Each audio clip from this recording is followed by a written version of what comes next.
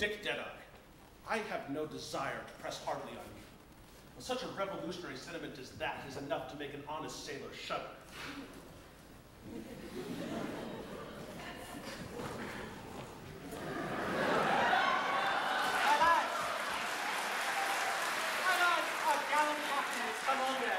Let us greet him as so brave an officer and so gallant a seaman deserves.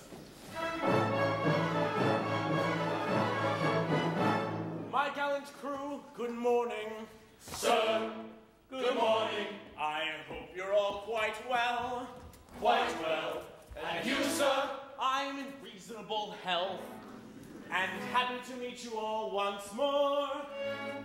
You do us proud,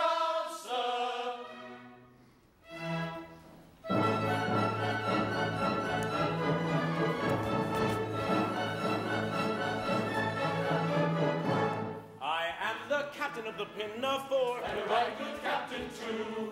You're very, very good, and be it understood, I command a right foot through. We're very, very good, and be it understood, he commands a right foot through. Though related to a peer, I can hand, reef, and steer, or ship a G.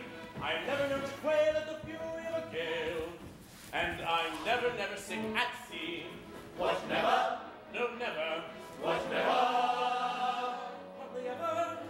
It is hardly ever sick at sea.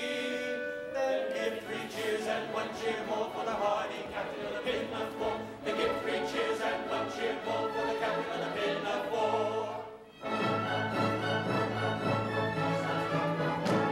I do my best to satisfy you all. And with you we're quite content. You're exceedingly polite, and I think it's only right to return the compliment. We're exceedingly polite, and he thinks it only right to return the language I never, never use, whatever the emergency. Though bother it I may occasionally say, I never use a big, big D.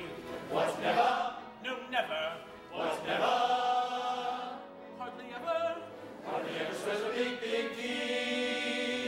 Then give three cheers and one cheer more for the well-bred captain of the Pinafore. Then give three cheers